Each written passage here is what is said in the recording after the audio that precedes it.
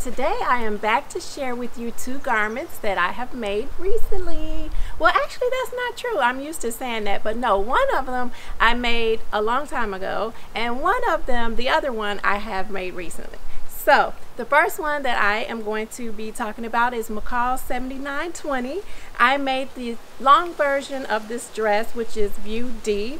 I made it in a maroon slash burgundy slash wine kind of color and the fabric is a linen or a linen type of fabric and I purchased the fabric from Joann Fabrics. Some of the features, this pattern or this view does have eight buttons in the front of the dress. There are also eight darts. So there are two in the front half of the top of the dress, two in the back. There are also the same in the front. There are two in the front skirt area and two in the back skirt area. So there's a total of eight. This pattern is rated as easy. And the only change that I made was I did a narrow hem around the sleeve instead of the recommended hem that was in the pattern. All right, so the next pattern that I have made is Butterick 6351. This is an older pattern. I made the jumpsuit, which is View D. I made it in black out of a stretch cotton that I purchased from Hobby Lobby. Now this pattern does have a lot of features. There are darts in the bodice. There are pleats in the front half of the pants of the jumpsuit. The bodice is also lined.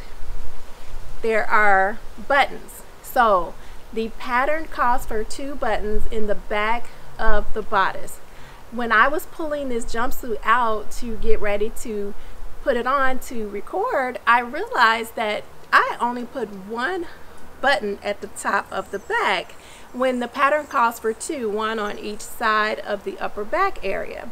Now I made this pattern in July of 2018 and it was before I had a YouTube channel and I don't know for the life of me why I only put one button but when I realized there was one button I just went in and I just added a snap. This was just yesterday I think. I added a snap at the top and I also added another button at the bottom. So I did do the other button at the bottom. I did do that at the time that I made it. So I only put one at the top one at the bottom as an additional button but I never put the other one on the upper left hand side. Yes I get my left and right mixed up but that's right upper left.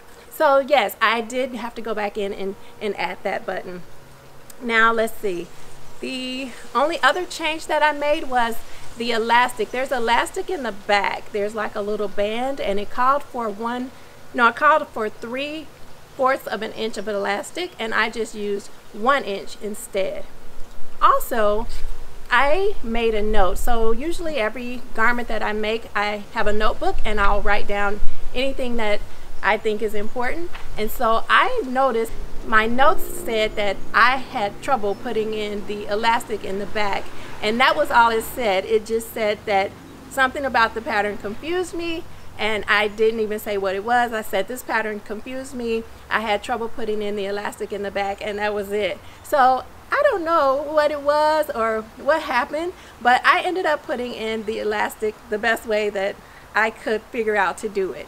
I don't think it's in there right, but it's in there. And so you'll see what this garment looks like in the back and also in the front. And I'll go ahead and show that to you right now.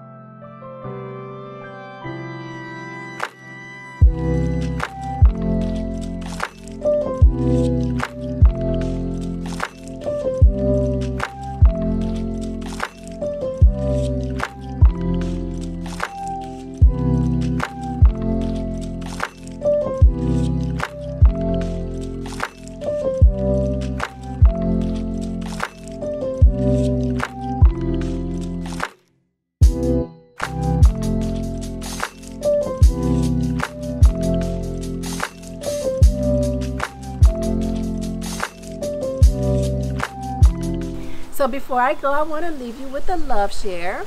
So, have you ever been watching the news or listening to the news and it just seemed like all the stories were sad or depressing or they just didn't make you feel very happy after hearing them?